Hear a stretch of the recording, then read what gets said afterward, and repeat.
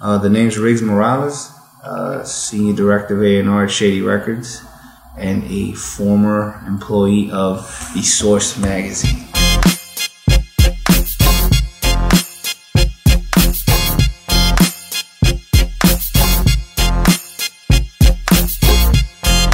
When I used to read The Source, I read an article about A&R, and it was associated with a, with a Puff column. Got paid to find talent. I'm like, shit, I can do that.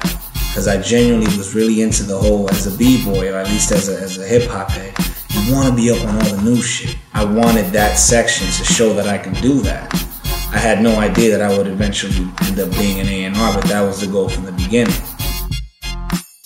The A&R is the liaison between the uh, label and the artist.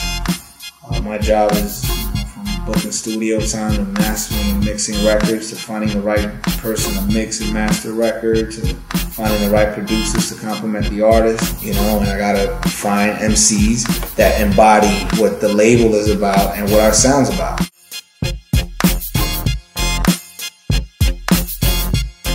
Bones Malone used to come by the block a lot to go see a friend of mine, and I know he was a freelancer for all the urban uh, magazines.